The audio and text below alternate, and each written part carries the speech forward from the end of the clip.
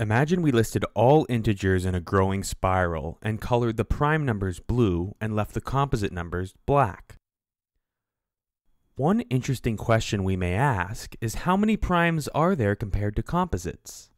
First, let's zoom out to see the big picture.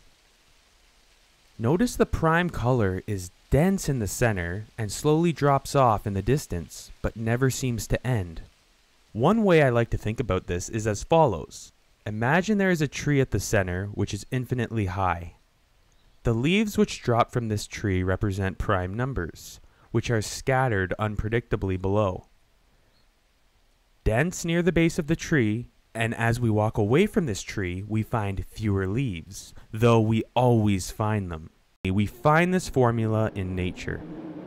We see it in galaxies, storms, flowers, and even inside our bodies as the design of least resistance, known as the logarithmic spiral.